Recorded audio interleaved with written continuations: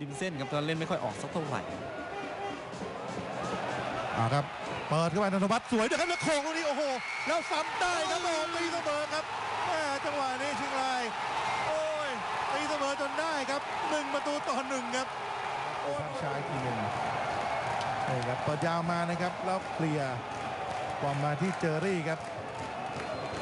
แล้วบอลหลุดไปถึงนนทวัฒน์ที่เพิ่งลงมาใหม่เลยครับ เปิดโค้งเข้ามาครับ แล้วแหม่ไปชน เก็บอาวุธครับและเก็บอาวุธครับแหมดีดเข้าไปเลยครับแล้วว่าเก็บอาวุธไปปะทะกับศิวรักษ์ก่อนนะครับ แล้วบอลไหลมาอีกทีหนึ่งแม่บอลสุดท้ายนี่แม่ไม่รู้จะให้ใครคให้รับใครครับยุทธจักรก็เหมือนจะเป็นยุทธจักรแต่เหมือนเพราะว่าไม่รู้จังจักหวะวิ่งชนบอลเข้ามานะครับ ใช่ครับแล้แล้ววเก็บชมสดสูงสุดถึง 10 คู่ต่อสัปดาห์ ในราคาเพียง 50 บาท หรือติดตามทีมโปรดของคุณทั้งฤดูกาลชมสดทุกแมตชเพียง 590 บาทเท่านั้น